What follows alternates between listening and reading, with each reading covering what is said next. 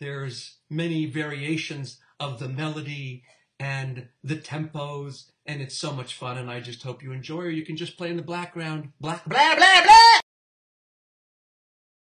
Ah.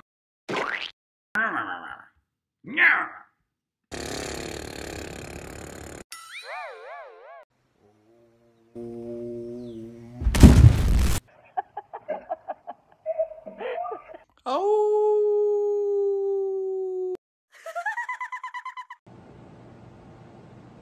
Oh, it's a video. Hey. Vav Zayin Chet Tet. Yep.